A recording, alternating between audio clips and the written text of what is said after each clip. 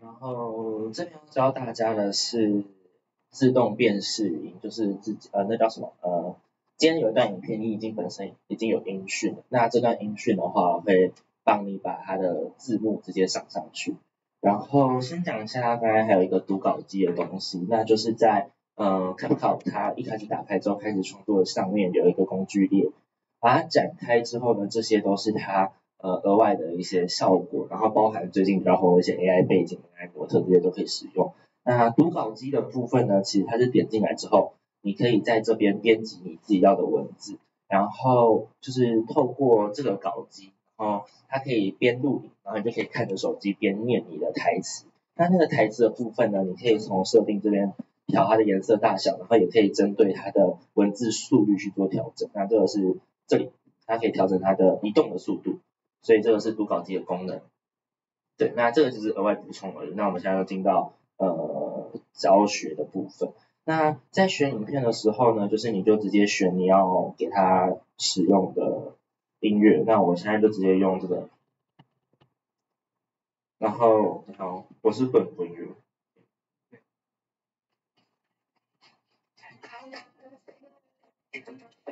好，大家应该就是最近有听过这首歌，对，那它就是本身含音讯的部分了。那我现在呢，就是我现在就是呢，把它的那个音讯的部分点它之后呢，按那个。点击文字，然后文字这边有一个叫做自动字幕的东西，然后大家可以点这个自动字幕。然后它的音乐，它其实有分成两个版本，一个是呃纯人声跟歌词，所以这两个是不一样的。因为我后来发现它的自动字幕没办法侦测有背景音乐的，因为它会把背景音乐的那个呃旋律也把它算成是歌词，所以它不能用自动字幕，你要用自动歌词。自动歌词的话，它就会只分析出背景音乐的文字内容，不会分析到它的旋律。对，所以当你选歌跟选纯人声，可以用不同的方式，它都可以读出来。像我现在选自动字幕给你们看一次，如果你选成自动字幕，因为我现在选的是一首歌嘛，然后它这边的音乐来源，你这边可以选取语言，然后它语言的那个库存蛮多的，中文、英文，就我们常用的一定都有。对，所以我现在先是应该是英文歌吧，然后我先用自动字幕按一次，它就会写建立。然后它写无法建立，因为它是歌曲，它还有背景旋律。那我们今天如果要编辑像这样子的歌曲的话，就要选自动歌词。然后我一样选英文，然后音乐来源一样是从影片，然后就按开始。好，那这样子它的歌词就自动帮你载进来了。所以大家可以帮我看一下画面。它的那个。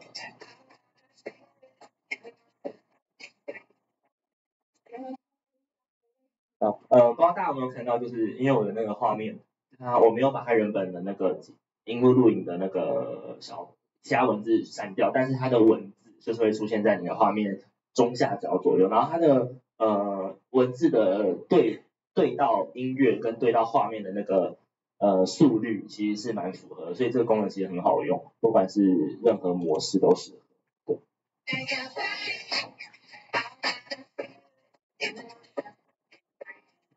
好，没错。那呃，在这个功能使用中的时候，其实它的这个文字你可以再额外做编辑，就是可以变成你想要的特效。对你这边它有很多模板可以使用，然后你也可以针对它批次编辑，就是有几个歌词，它生成了几个歌词，你就可以有跟针对几个去做编辑，所以它可以全部都用同一个模板，你也可以换不同的模板在歌词上面。对，然后这个的话是自动自动生成。那刚呃还有一个功能是，如果你今天是文字已经输入好了，然后你不想要用它原本歌曲，那你可以怎么做？我先把原本的影片的声音晋升，这里有个静音，按一下就刚有教过。好，然后我现在选择这个字幕，点它之后呢，有一个叫做文字转语，它可以直接阅读出你的文字。然后你按了之后呢，可以按套用所有歌词，它就可以一次把整个影片的文字全部帮你读完。然后我们就可以选，就是有些人不是会看，就是有一些影片它的开头会用什么 Google 小接语音或什么的。好，然后先说，因为它是 CapCut，它是国际版，它只有英文的功能。如果你要中文的话，可以用剪映。对，刚刚有提到。好，然后我们选这个 Chill Girl。好 OK，然后我们按确定，那它就会自动帮你转成语音，然后每一句都会有。If you let me, I want to see it in motion in 3D. 对，没错，就像这样把它捏出来，所以它就是一个呃换一个人声去读你的文字稿的一个功能。对，那呃这里的话主要就是教大家在文字跟字幕上面的运用。好，到这边。很强哎，它在那个方图看这个部分，Google Translate 它可能在读正常的声音是没有问题。可是他在处理，比方说新闻播报这种比较快，或者是唱歌的部分，Google Translate 还是没有办法做到像他这样把歌词读出来的。所以，它会，它会是未来的趋势之一。它接了这么多这么强功，都是免费的。好，继续喽。好，那下一个是介绍叠图。那的话，要就叠图就是你可以在你原本的影片上面，可能再放上一个。嗯，一小张照片或者是一一个影片，你就把它插入这样的状态。那的话要怎么用的话呢？就是在下面这一行，就是有很多功能里面，你去选一个图片，很像，像有一个叫做重叠在文字跟特效之间，那你就点，然后你就可以点新增重叠，然后就可以从数据库里面去挑你想要呃放。加加入的影片或者是照片，那我这边是已经加入完，就是旁边就可以看到视窗上面会有一个小小的影片。那这边的话呢，就是你可以调整它的大小，就是你可以直接用双手，就是两只手指去做缩放，然后你也可以在下面这边，你可以直接选择说，像说用自动调整比例或者是。基础去调整它，或是编辑也可以。像说，如果我想要把它变成，我想要直接裁剪它的话，我就可以直接把它缩小之类的。然后它也有固定的比例，像一比一、四比三之类的可以选择。那裁剪完之后就会变这样。那如果今天你会想要把它呃变成像说，你只想要人，你不想要背景的话。那它在功这个功能里面也有一个叫做自动自动抠图的一个功能，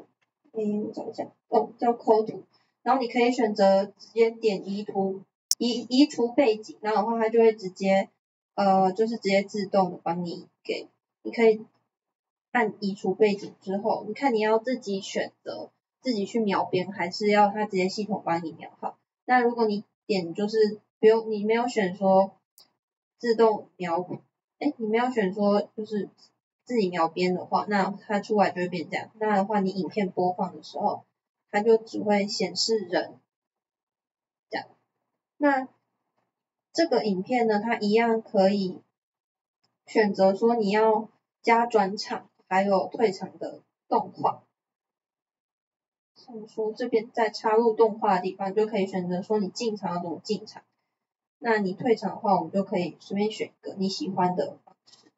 那做出来的话，它就会像这样慢慢的出来，然后到结尾，它就会慢慢的消失。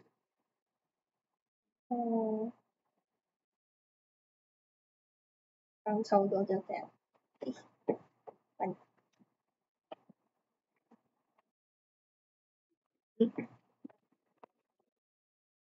好，刚刚是介绍叠图的功能哈。那叠图，我觉得它很厉害的是，它还可以用到动画的这也是我觉得很难在其他软件上。对，真的很强大嘛。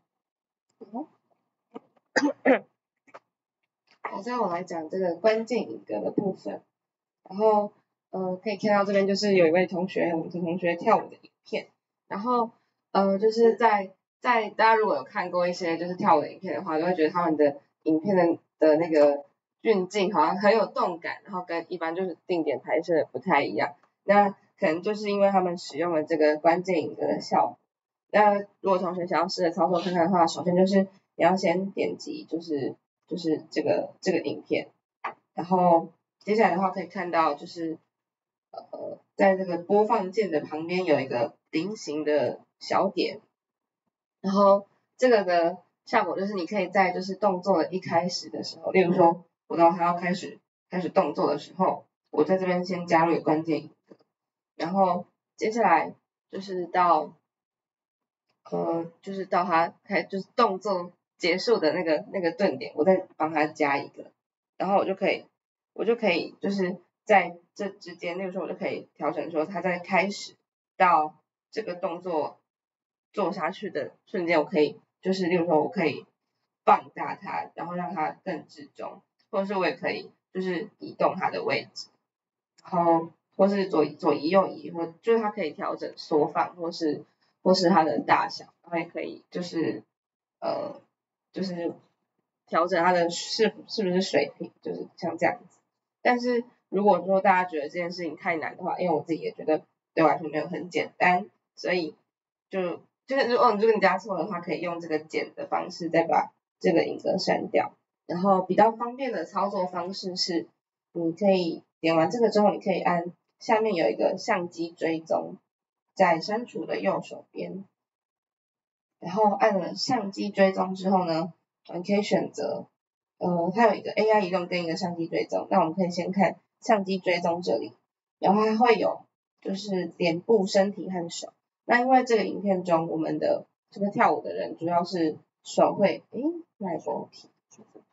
嗯，比较比较明显，所以要就是选择身体的话，就会呃，它会比较跟得到。就是它的荧幕中心点都会这个人的身体，不管影片里他怎么动，最后他的身体从头到尾，在他这个关键一格的这个追踪的范围之间，他都会以他的身体为整个影片的重心。这个东西必须要专业的电脑影片编辑软体才做得到这种动态追踪在一起。现在连手机都可以做得到，所以它这个真的是很强大。好，请他继续。好，然后你就按开始，然后它就会套用这个相机追踪的特效。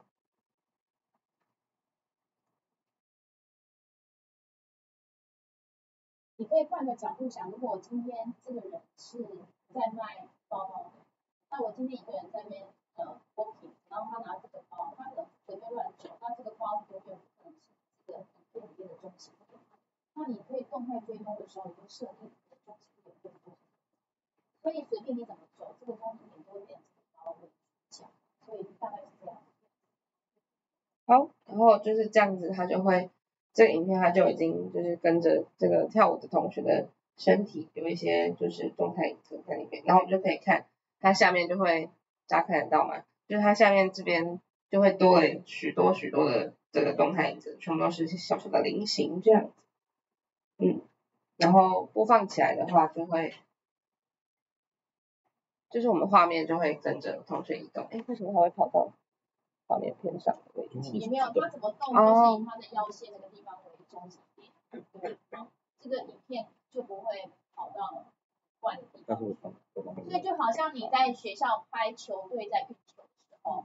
你可能固定站的位置都是这样，可是你其实你不需要你的手机一直去追着那个人跑。你今天如果是广角拍，然后用这个动态追踪去追那颗球，那么他自己就会按照那个球在哪里跑去追那个球，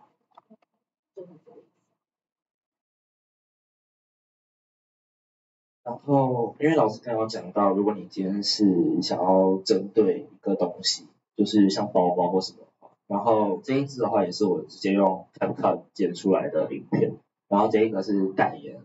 呃，叶配这一罐洁肤水，然后我的追踪我就是主要是放在这一罐上面，大家可以看一下。